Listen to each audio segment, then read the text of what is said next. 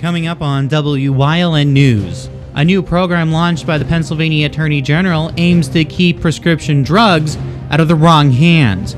This is your news choice. WYLN News starts right now. From the WYLN studios in Hazleton and all over northeastern Pennsylvania, this is WYLN News. Good evening, and thank you for joining us on WYLN News. I'm Paula Dagnan. A Hazleton resident was convicted Monday in Northampton County Court on a single count of terroristic threats. It had to do with a series of threatening emails Sean Donahue sent to Luzerne County District Attorney Stefanie Salavantis. She received those emails in August of 2012. The 48 year old Donahue was granted a change of venue for the trial back in April. Sentencing will be imposed at a later date. A Frackville man was arrested over the weekend for making terroristic threats. 25 year old Shane Costigno got into a dispute with Jill Populus around 10:30 Saturday night at a home on West Chestnut Street. Police arrived on the scene and found that Costigno had was in the attic armed with a knife threatening to kill himself. Populus told police that earlier in the day, the man threatened to kill her and himself. He also allegedly threatened to burn the house down. He was taken into custody and charged with four counts of arson and related offenses, simple assault, possession of drug paraphernalia, terroristic threats, among similar charges. He was arraigned and taken to the Schuylkill County Prison for lack of $50,000 straight cash bail. The state attorney general unveiled a new major initiative to reduce the diversion of prescription drugs in Pennsylvania. WYLN's Gary Perna has more on just what that initiative is. Attorney General Josh Shapiro has announced his office will supply 300,000 drug deactivation and disposal pouches to pharmacies in 12 counties, and one of those counties is Luzerne. And we are taking action that we're expanding our fight to these small towns by providing an easy to use, convenient way to dispose of unused and dangerous prescription drugs so we can stop, as I said, the next person from becoming an addict. Through the new initiative, the Attorney General is acting to make sure anyone receiving a Schedule II narcotics at a participating pharmacy will be offered a free disposal pouch. And the Attorney General wants to make sure that anyone can obtain a free pouch as well to safely dispose of any unwanted or unused prescription drugs. By August 1st, free drug deactivation pouches will be available in 278 pharmacies across Pennsylvania. Locally, those pharmacies taking part in the program include CVS's in Hazleton and in Freeland, the Rite Aid on North Church Street in Hazleton, and the pharmacy at the Walmart in Hazle Township, along with ones in Wilkes-Barre, Whitehaven, and other Luzerne County communities. The Attorney General said 80% of heroin addicts start with the abuse of prescription drugs, and the vast majority of those who misuse those drugs get them from friends, relatives, or a medicine cabinet. And we are fighting this on every front, from every angle. But I need you to join this fight. I need you to help us in law enforcement dispose of these unused medications. Put them in a pouch that you can get here at Klingensmiths and at pharmacies across Pennsylvania and dispose of them before they can be used to create another addict, before they can be used to harm a youngster, before they can be used to wreak more havoc on our communities here in Pennsylvania. The drug pouches can deactivate up to 45 unwanted pills when warm water is added to the pouches and they are sealed. The pouches then can be disposed of in the trash. In the first six months of 2017, the Office of Attorney General and the Pennsylvania National Guard destroyed 22.68 tons of unwanted prescription drugs collected from communities across Pennsylvania. By comparison, 26 tons of unused drugs were disposed of in all of 2016. As part of the new initiative, the Attorney General's office has made a website available to the public to learn more about the participating pharmacies and their locations. You can find that info at www.attorneygeneral.gov. Reporting for WYLN News, I'm Gary Perna. Thank you, Gary. This morning, PennDOT had to do some emergency bridge repair in one part of Luzerne County that caused a mess particularly in the area of Mountaintop. The work started this morning on a bridge on Interstate 81 North between the Mountaintop exit 165A and Wilkes-Barre exit 165B, according to PennDOT. Crews hope to have those repairs completed by this evening. Luzerne County Council members received a bit of good financial news at last night's meeting. An audit was done on the county's 2016 financial statements by Clifton Larson Allen LLP. Auditors discovered that the county transferred money from its general fund to the Children and Youth Agency in 2015. The agency reimbursed the county, and around $800,000 remains from the prepaid expenses. County Manager David Pedri wants to put that money to a fund to help with the county's deficit.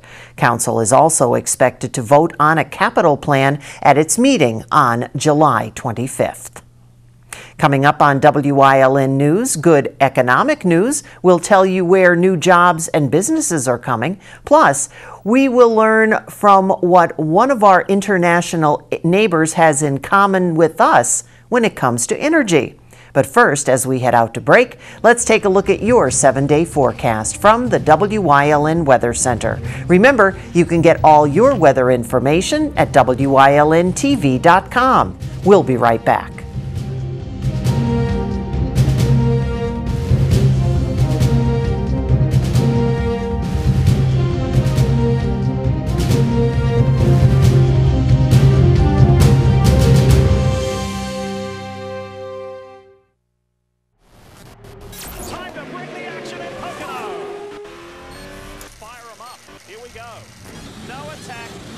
chance. Watch the madness of this. It's violent. She goes.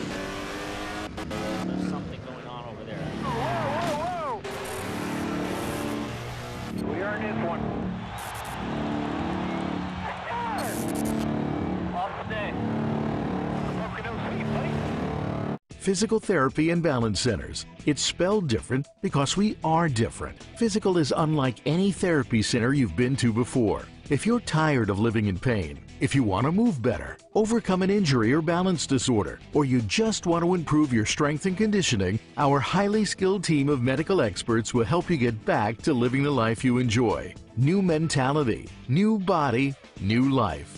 Get physical.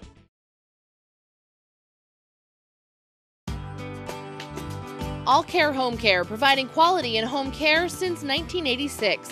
Call and see how their team of licensed physical therapists, skilled nurses, speech, and occupational therapists can provide you with exceptional service in the comfort of your own home. They also offer dietitian, home health aide, and medical social worker services. You have a choice in your health care. For safe, friendly, qualified care, call All Care Home Care today and let their team begin taking care of you and your loved ones. Two new businesses are coming to Banks Township.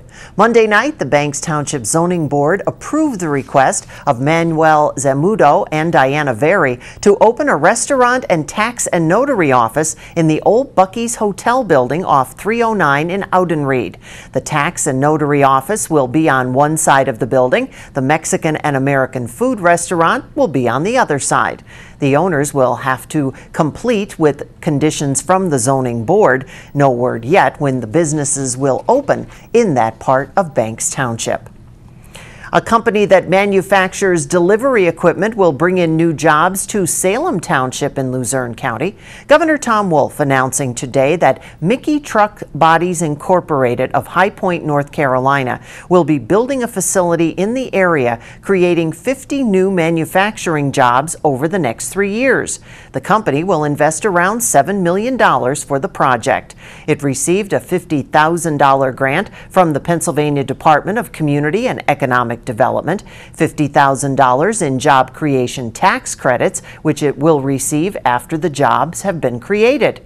Mickey manufactures high quality aluminum truck bodies and trailers for several industries. Coming up on Tuscarora's News Choice, a presentation next week by a European energy policy expert is coming to Wilkes-Barre. Plus, get ready, Farmers Market Friday's on the way. But first, let's take a look at today's winning midday lottery numbers. Good luck if you played. Stay with us.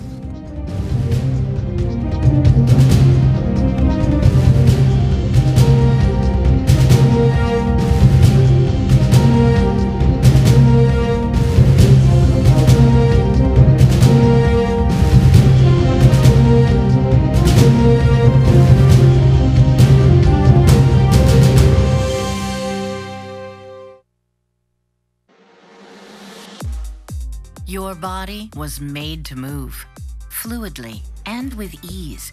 If the need for joint replacement surgery has stopped you in your tracks, it's time for a plan that can put you back in motion faster. The area's most experienced surgeons, the region's only nationally ranked program. That's Orthopedics in Action at Lehigh Valley Health Network. Visit the Luzerne County Convention and Visitors Bureau at visitluzernecounty.com for the listings of the many events you'll find in Luzerne County. From wine festivals to hill climbs to the famous tomato and kielbasa festivals, you'll find it all in Luzerne County. Luzerne County was named the best outdoors destination in Pennsylvania by the official Best in Pennsylvania website. The Luzerne County Convention and Visitors Bureau will help you relax relive history, and marvel at the area's stunning natural beauty. You'll find it right here in northeastern Pennsylvania.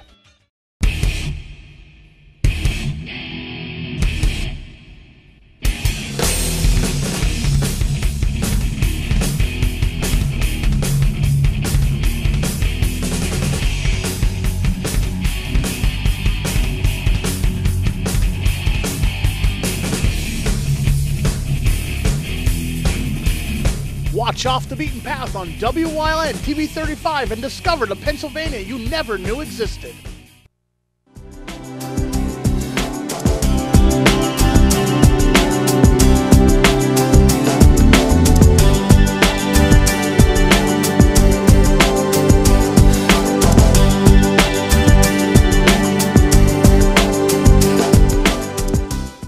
Welcome to Community and You. And there are many things and many places in our community that you and I probably don't have the opportunity to even remotely see or maybe even want to see. But Mike Hewitt, with me, has seen a lot. Tell us where you're from and what exactly you do. Well, originally I'm from Montrose, Pennsylvania, and uh, it's, you know, pretty clean landscape up there. And I used to hunt and fish with my father and my parents, uh, my mother. And uh, I come down here and uh, to the Scranton Wilkes-Barre area, and you see these uh, giant black coal piles, you know, mountains of, of coal waste, and then these orange streams. Um, so as a kid, I was always fascinated as why in the world are those things there?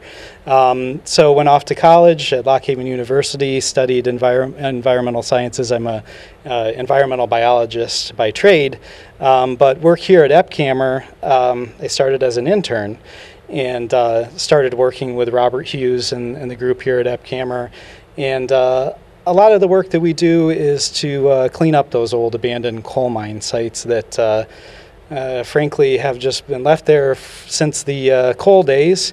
And um, through certain laws um, weren't necessarily as stringent back in the past and uh, didn't really have to uh, you know clean up these coal sites. Uh, so but today we have a little bit more stringent laws and um, you know there's ways to go through and, and clean those up and the and the coal companies are always a partner in that. Yeah. Now, you're located here in Hanover Township in the Earth Conservancy building, and we could do a whole program just on this building by itself because it was reclaimed, actually, wasn't it? Sure, yeah. Um, we're here in Ashley, actually. Um, one square mile is Ashley, and then uh, Hanover Township goes around it. But uh, yeah, this used to be the Blue Coal Corporation uh, headquarters. And uh, the room that we're in right now was actually, um, I believe, uh, accounting offices. And um, Earth Conservancy is over in the other side, and EPCAMR rents um, some space on this side. And yeah, uh, so this building was built in the in the 50s. Um, but then behind it, it, it went along with the breaker that was here, uh, the Huber breaker that was torn down in 2014 uh, and sold for scrap. Yeah, that, the, again, I think a lot of people probably remember that. Now, we're talking about, you mentioned coal. Coal, we always hear about in our area. And a lot of times people don't realize that there's been coal all over the place, energy. You took a trip to Germany and did a little bit of research on coal. How did that go?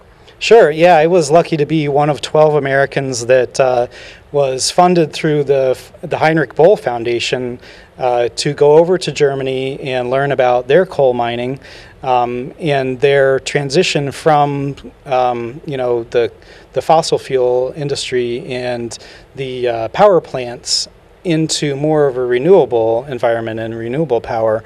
Um, the Heinrich Boll Foundation is actually kind of the think tank for the Green Party in, in Germany. And so uh, they actually helped us to understand uh, the transition that started back in the 80s and 90s, um, you know, with the um, the power transition that happened back then and uh, went from coal and uh, their nuclear power, and now they're working on phasing that out and then going more into renewables. But there's always got to be a mix of power, and so um, that's what we were there to learn. So now Germany is coming here. That's right. And fascinating that they approached you, not you personally, but they approached the area in order to come here. Who's coming? When does this happen? And can other people attend? So, a gentleman by the name of Timo, Timon Wehnert is coming from the Wuppertal Institute. Uh, I had an opportunity to meet one of his colleagues uh, when I was over in Germany at the Heinrich Boll Foundation headquarters, and uh, he made a very interesting uh, uh, presentation to the group um, about you know what happens as far as the transition from fossil fuels to renewable energy, but also what had to happen on the on the government side and the policy side of everything. So, um, yeah, he's going to be here on July 20th uh, fr- at seven o'clock at night at uh, the Stark Building.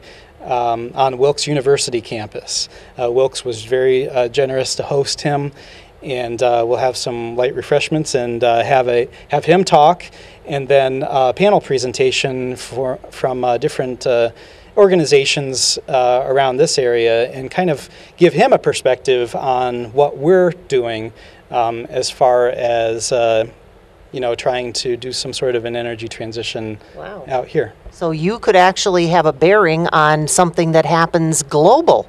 Oh, I guess I don't know, possibly. Uh, and uh, how are the tickets available for this? Can anybody attend? How does that work? Sure, it's free to the public. Um, and uh, yeah, there's really, we're not exactly sure how many people we're going to get. We're, we're hopefully going to get a crowd. We're at Stark 101, so that uh, facility is hopefully big enough to fit uh, a lot of people. All right. How can they get? Can they get tickets on the Wilkes website or your website? Uh, there's information on our Facebook page about it, and uh, we'll be circulating around a flyer uh, that will talk about it. Um, and I'm sure that uh, Wilkes uh, University will have it through their promotions page. And we'll be able to make sure that we have it on the WYLN Facebook page as well. So, did the little boy from Montrose ever think that he would be going global and having people from Germany show up in his backyard? Not a clue. No, not at all. Um, it was really cool to go over there and see the different types of coal that they had too. We started off in Berlin, where they have lignite coal, and then went down uh, south uh, to the Lausitz region, and it's a lignite type of coal there. But then when you come over to the um, the western side of Germany, uh, you get into anthracite coal like we have here. And so they have a lot of the same problems with the mine drainage problems and the mine pools and the uh, the depth of coal. They had to do so much pumping to get to their coal to get to their coal. And at one point in time, they were actually subsidizing all of that pumping, and it just made it, um, you know, subsidizing it through the government to pump the water, um, so that they could actually sell it on the open market. And they were losing money. It's it just fascinates me that people don't realize how much in common they have with other people. And it doesn't mean that they're right next door, but all the way across the pond, as it were. So once again, Mike Hewitt, if you would, just tell everybody where and when and give them the invite. Yeah, so um, it'll be the uh, Wuppertal Institute is coming to Wilkes University on July 20th uh, f- at 7 o'clock, and it'll be at the Stark Learning Center, Stark 101, and uh, it's op- free and open to the public. Great. And we certainly hope that you will take the opportunity to enjoy, learn, and come back and join us on Community and You.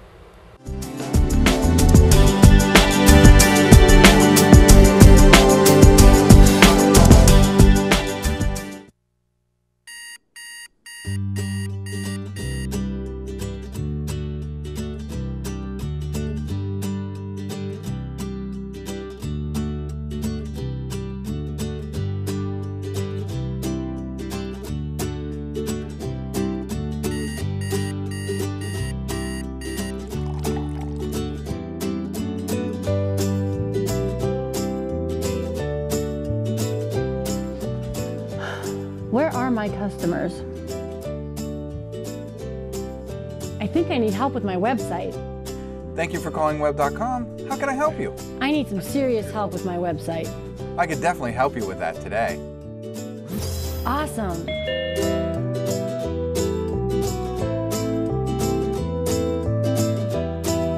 Do you want to work in a fun atmosphere and help small businesses like this succeed online? Call 1 844 JOBS Web and apply today.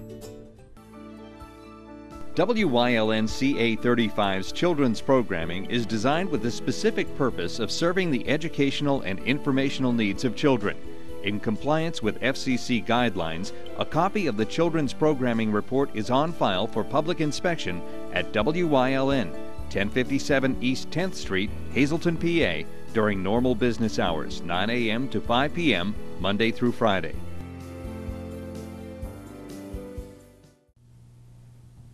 It's almost here. Downtown Hazleton's Farmers Market opening this Friday.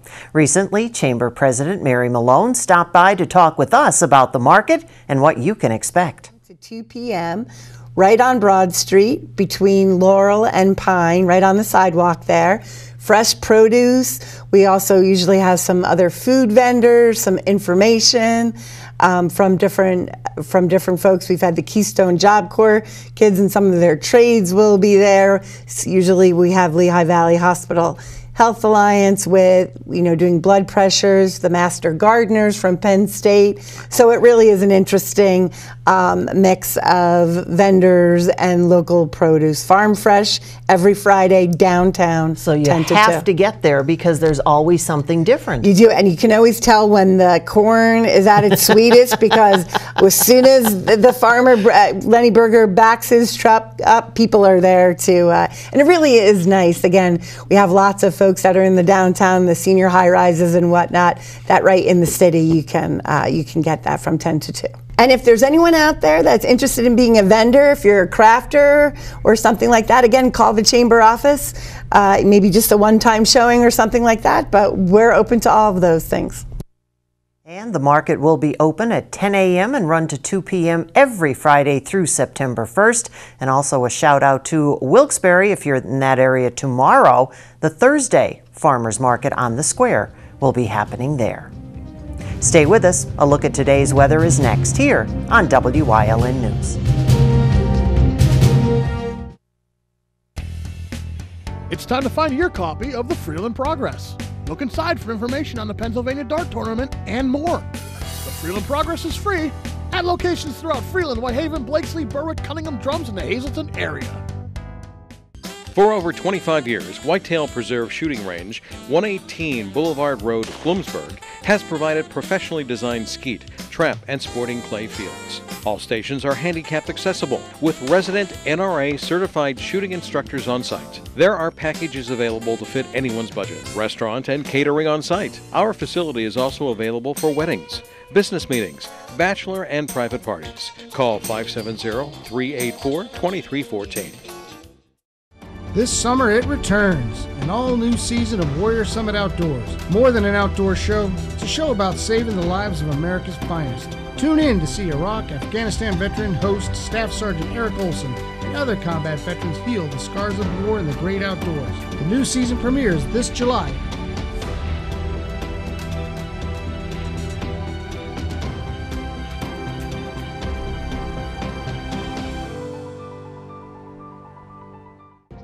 see news happening in your neighborhood, call WYLN News at 570-459-1869 or email us at news at WYLNTV.com or send us a message on social media through Facebook. WYLN, we're your local network.